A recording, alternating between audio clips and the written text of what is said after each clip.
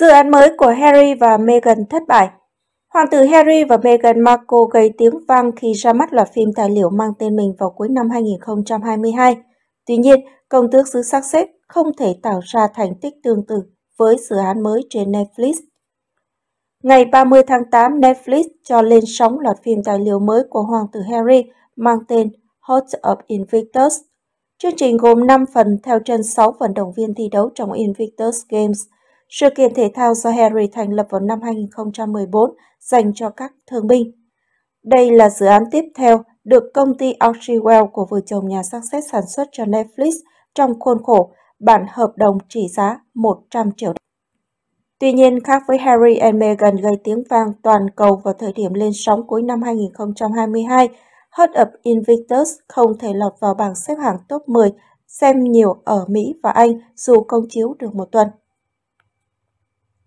Theo Newsweek, đây là thất bại của Harry và Meghan. Kết quả này có thể khiến gã khổng lồ phát trực tuyến không hài lòng bởi họ đã chi nhiều tiền cho cặp đôi hoàng gia thoát ly và kỳ vọng kiếm được nhiều hơn. Netflix và Archewell Production chưa phản hồi về thành tích mờ nhạt của Heart of Invictus. Dự án mới thất bại trong bối cảnh sự nghiệp của Harry và Meghan tại Hollywood rơi vào khủng hoảng.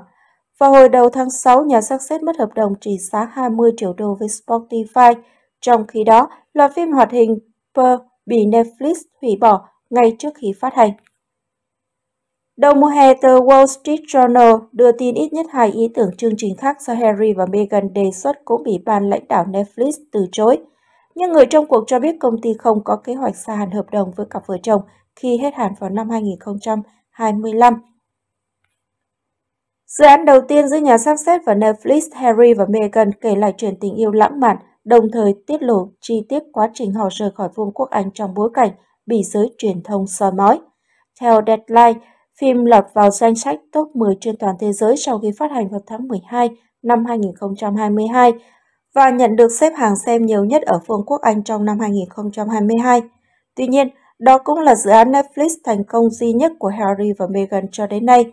Trước Heart of Invictus, họ cho ra mắt chương trình Light to Live trong đó phỏng vấn các nhà lãnh đạo và người có ảnh hưởng trên thế giới, bao gồm nhà hoạt động môi trường Greta Thunberg hay nhà báo Gloria Steinem, nhưng cũng không thể lọt top 10 trên Netflix.